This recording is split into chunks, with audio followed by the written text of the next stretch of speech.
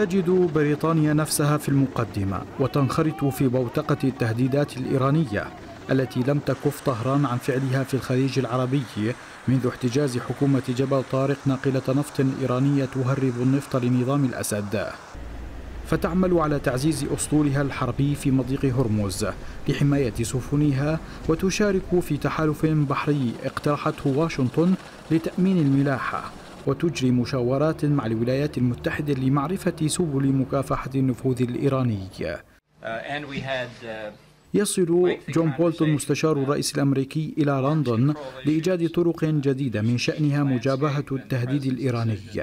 المناقشات لم تعقد بعد وإنما استبقها متحدث باسم جونسون وصرح بأن بولتون وجونسون سيبحثان الخطر الإيراني.